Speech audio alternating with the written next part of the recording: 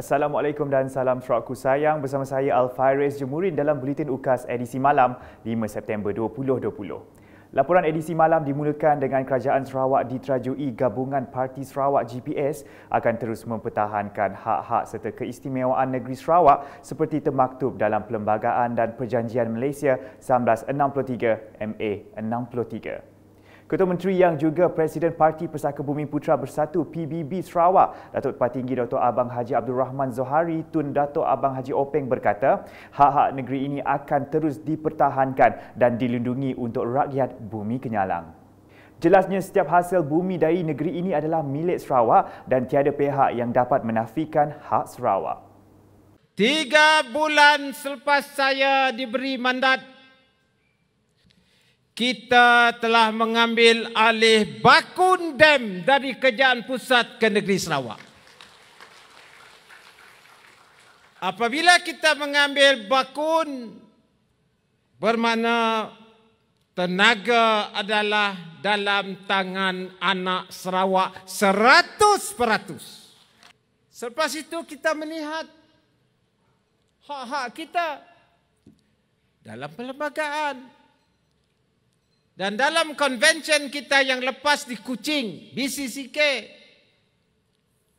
saya tak genikah melihat perlembagaan kita dan melihat peruntukan di mana hak atas tanah dan juga hasil bumi atas tanah Sarawak adalah hak Sarawak dalam perlembagaan.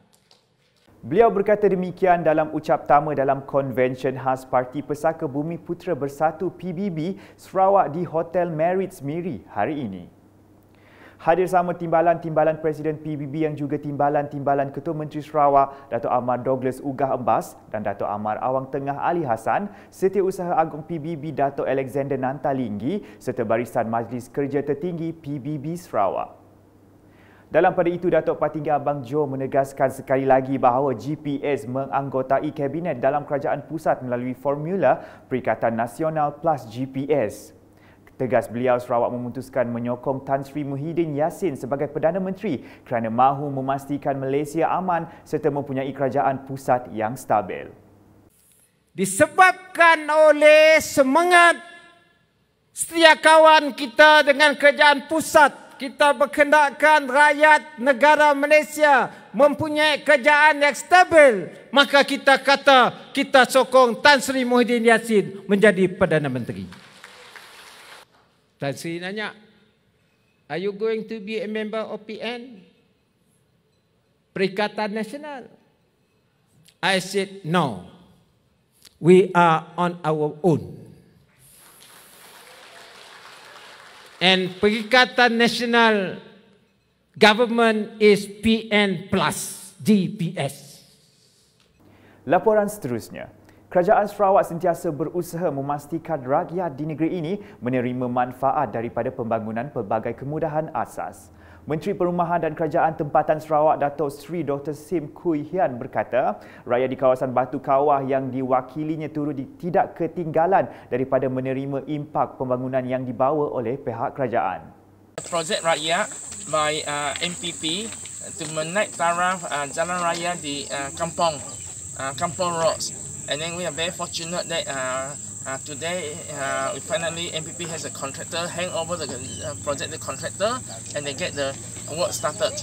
And all together about 33 kilometers. 33 kilometers of new uh, roads that will be tar sealed, and uh, as part of the Menak Tara uh, Kampong roads for the uh, for the people in this kawasan. And so after this is the first time we had this uh, project under the GPS government. Beliau berkata demikian ketika ditemui selepas program penyerahan projek menurap jalan kampung Sungai Tapang Ulu, Jalan Rantau Panjang pada Jumaat. Sementara itu, Datuk Seri Dr. Sim memberitahu setiap tawaran projek pembangunan oleh kerajaan negeri adalah melalui proses cabutan undi. Katanya ini membuktikan tiada unsur negatif terhadap pengurusan tender kerajaan di bawah kerajaan gabungan Parti Sarawak GPS. Beralih ke laporan berikut, orang ramai digalakkan menjadi sahabat sungai yang dianjurkan Lembaga Sungai-Sungai Sarawak bagi memastikan sungai di negeri ini bersih. Menurut Menteri Pengangkutan Sarawak Datuk Lee Kim Shin, apabila menjadi sahabat sungai, setiap daripada kita akan mempunyai tanggungjawab terhadap kebersihan sungai. Apabila kita jadi sahabat sungai, ini bermakna kita semua pun akan bersama-sama bertanggungjawab menentukan sungai kita bersih. Sungai bersih itu penting kerana ada juga masih orang gunakan sungai air sungai untuk membasuh kain, ha? Ha, kalau di Ulu masih ada juga gunakan sungai itu ha, untuk minuman dan sebagainya. Jadi kebersihan itu amat penting sekali. Beliau berkata demikian semasa berucap dalam program kempen kesedaran awam kebersihan dan keselamatan sungai di Kampung Batu Satu, Kuala Baram, Miri hari ini. Datuk Lee yang juga ahli Dewan Undangan Negeri Senadin menegaskan sungai adalah aset dan khazanah yang tidak ternilai harganya dan perlu dipelihara supaya ianya tidak tercemar dan memberi kesihatan kepada manusia. Kerajaan Sarawak menerusi Jabatan Pertanian sentiasa berusaha membantu para petani meningkatkan produktiviti dan pengeluaran hasil pertanian mereka. Menteri Muda Pemodenan Pertanian Tanah Adat dan Pembangunan Wilayah Sarawak merangkap adun tarat.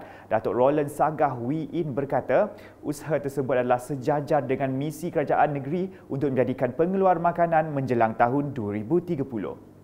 Justru katanya para petani perlu diberi pendedahan mengenai teknologi pertanian yang terkini bagi meningkatkan pengeluaran dan kualiti hasil dan produk pertanian mereka. Beliau berkata demikian semasa Majlis Perasmian Agriculture Community Outreach Program AgriCorp di Kampung Sinjok hari ini. Dalam majlis yang sama, beliau telah mengumumkan peruntukan projek MRP sebanyak RM36,000 kepada tiga penerima.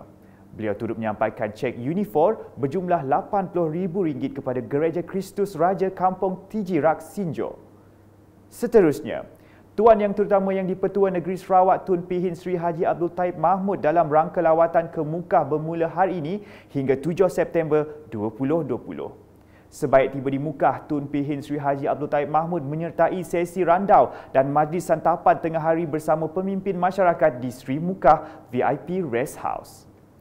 Tun Pihin Sri Haji Abdul Taim Mahmud kemudian membuat lawatan ke tapak projek lapangan terbang baru Muka sekitar jam 3 petang di mana beliau telah diberi taklimat berkenaan status dan kemajuan projek berkenaan. Turut hadir mantan ahli parlimen Mukah Tan Sri Datuk Sri Muhammad Leo Toyat, Adun Telian Yusib Nosh Balo, Residen bahagian Mukah Hajah Hamdiah Bakir dan Pegawai Daerah Mukah Syafri Saili. Sekian bersama saya Alfairez Jemurin dan kru penerbitan. Untuk dapatkan berita-berita terkini Sarawak setiap hari, layari UKAS channel YouTube atau melalui Facebook, Instagram, Twitter dan aplikasi Telegram Bulletin UKAS. Salam UKAS.